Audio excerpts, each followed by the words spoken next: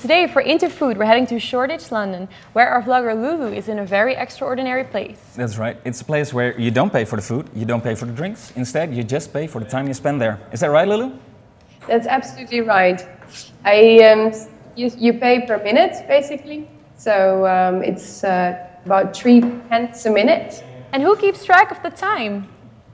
Um, it's our fabulous host from Poland who actually just made me a great cup of ginger tea. And um, so you check in here at the body behind me, and then you, when you check out, they calculate how much you have to pay.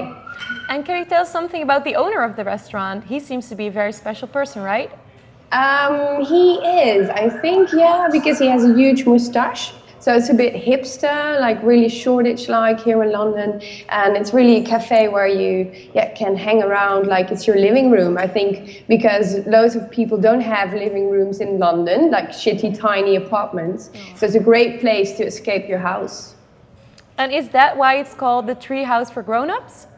I think so, yeah. And I think also because it's um, a co working space. So there's a girl here who runs her own business from this space. And so you can do lots of things, like they have events and everything. So you can do whatever you like, basically.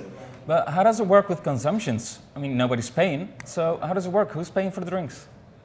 Um, that's Ziferblat. So you have a kitchen. It's a really nice kitchen. You can get everything. You can have tea, coffee, biscuits, snacks. And so you just pay for the time and the rest is all free. That's they great. also have board games and everything. It's really lovely. That sounds great. And are there any more cafes like Ziferblat opening soon?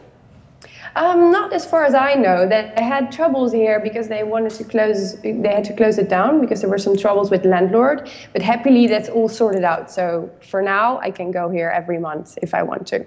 Thank you so much for your information and enjoy your time at the cafe. Okay? Thank you.